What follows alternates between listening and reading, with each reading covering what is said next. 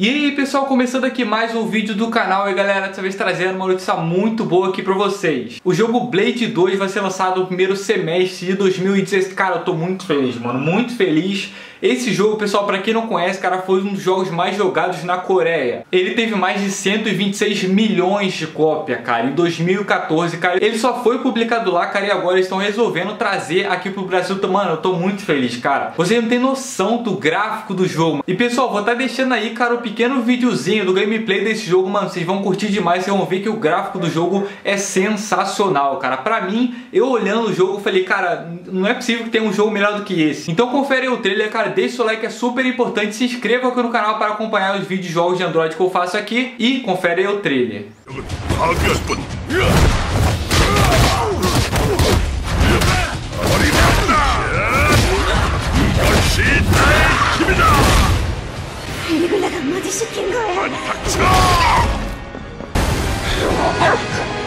I'm planning